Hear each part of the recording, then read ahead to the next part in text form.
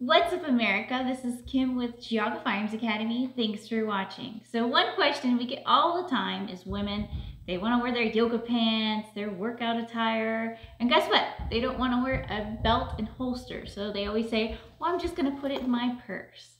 So I'm going to show you how to carry in your purse.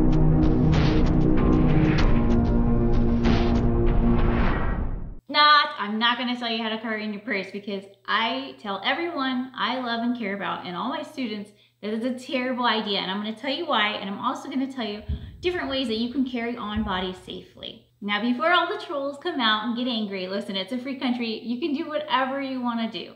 I'm just gonna tell you why I don't think it's safe. So the first thing I'm gonna do is to tell you to check out our video on uh, why you should not carry off body.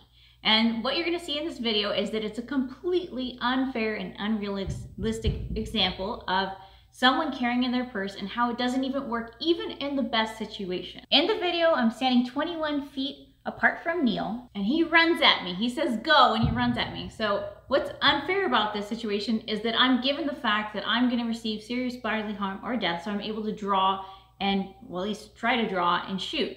In real life, that's not gonna happen. You're gonna have to make decisions quickly. So there's no way you're gonna have that much time to make that decision. Even in this perfect situation, I was not able to get my gun out all the times we tried. And let's be realistic, guys. There's not gonna be a bad guy who's gonna say, hey, get your stuff together, I'm coming for you. They're already gonna be in your space. After we did that video and we said, well, that wasn't a real concealed carry purse. So guess what I went out and bought? A real concealed carry purse with the pocket and everything. So when it's springtime, right now there's like a foot of snow outside, so I'm not going outside to run and do this.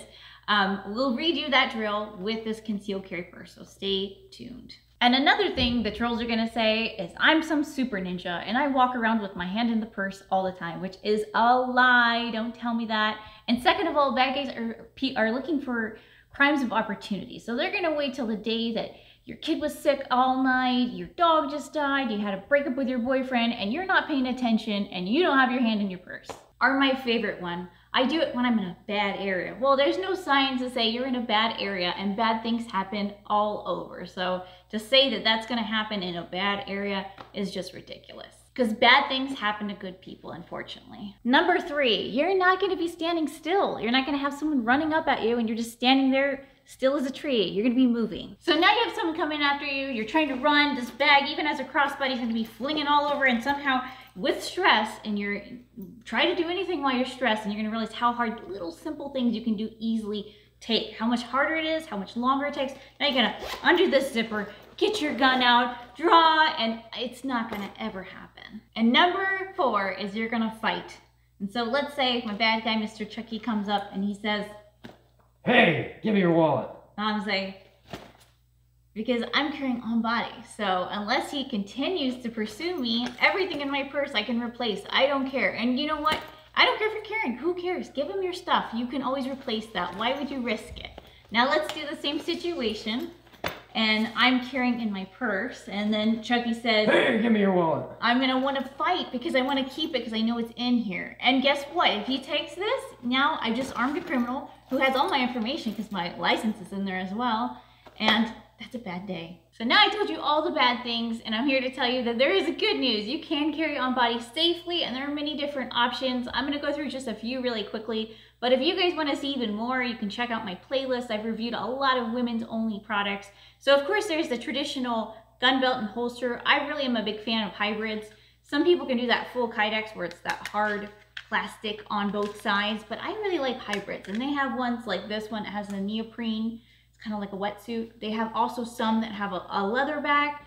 Um, Crossbreeds makes one. There's also, this one's from Tactica. There's a lot of great ones out there and you can, uh, like I said, check out my playlist if you wanna see some more options like that.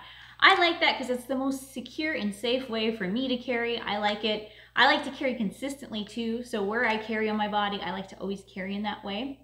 But if you can't do that, let me show you some other things. And if you can't do the traditional, you know, gun belt and holster, there's also clips. Uh, UltiClip makes them. There's also one called Fabric Clip. I haven't tried Fabric Clip yet, but I, I know some people enjoy it. So there are those options. Instead of having to wear a belt, it just connects uh, directly to your pants. So the only thing with these, um, the one quick drawback I will tell you is that they don't do very well with really super thin pants. So if you're gonna wear jeans or scrubs or something that's a little bit thicker than like a really thin yoga pant, um, they actually do work well. Then we also have belly bands. So this one's really nice. It's from Crossbreeds. It actually has a built-in Kydex holster. So that's really, really keeps it safe. I feel like I like having that trigger covered and I also like the fact that it stays open. So when I'm um, holstering it, I'm not muzzling myself. Another really affordable and great option is this Comfort Tac. It is by far one of the most comfortable holsters.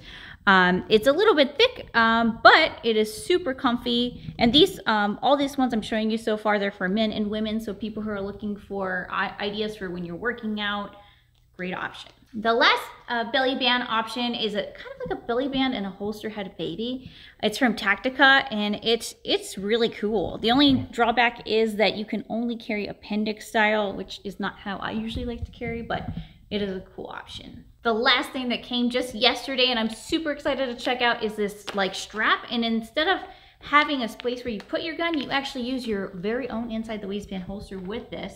So it's a really cool idea. So stay tuned if you want to know more about this, but I'm really excited about it. I hope you guys found that video helpful. Like I said, I, I didn't have enough time to go through all the different carry options because there's just so much information. So please make sure you check out my playlist and stay tuned because I'm always looking for different carry options and trying to help us ladies out because I know how difficult it is to carry as a woman. Um, if you like this video, please give me a thumbs up, a like, a share, a comment. I always love to hear from you guys. If you haven't already, subscribe here on YouTube and make sure you click that bell so it says all so you get notified every time we put a video out. We're also on Facebook, on Instagram, we're on Rumble now, so please go check us out. And you can find all of our premium content on Patreon. Until next time, remember, it's always better to be judged by 12 than carried by 6.